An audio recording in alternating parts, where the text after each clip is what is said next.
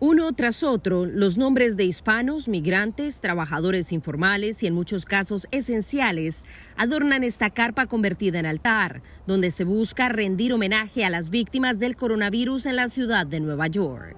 Han estado trabajando durante todo el tiempo de la pandemia y también vemos que uh, han fallecido muchos de nuestra comunidad. Es parte de honrar los fallecidos y también hacer un espacio para condolencias y recordar a los fallecidos.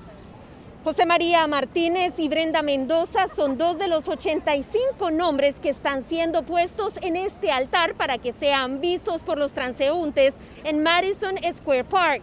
Sin embargo, los artistas aseguran que a medida que pasen los días podrán incluir a más víctimas del coronavirus. Una de las personas que están en, el altar, en la vigilia, es Lorena Borjas.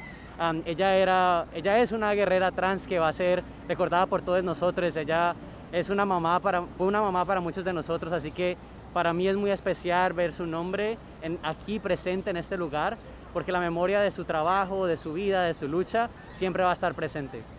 Este fue el legado de quien se convirtió en el ángel guardián de la comunidad transgénero en Queens. Ayudó a las mujeres a enfrentar el tráfico sexual, los problemas con la policía, las adicciones.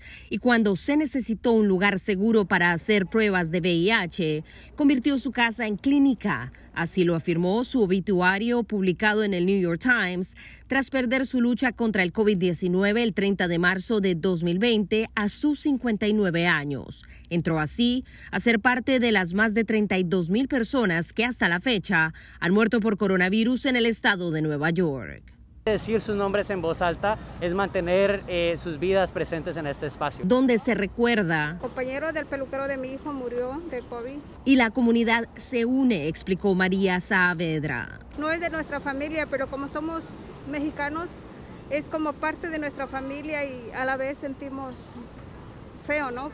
Sentimientos que esperan los creadores puedan ser expresados en el altar. Celia Mendoza, Voz de América, Nueva York.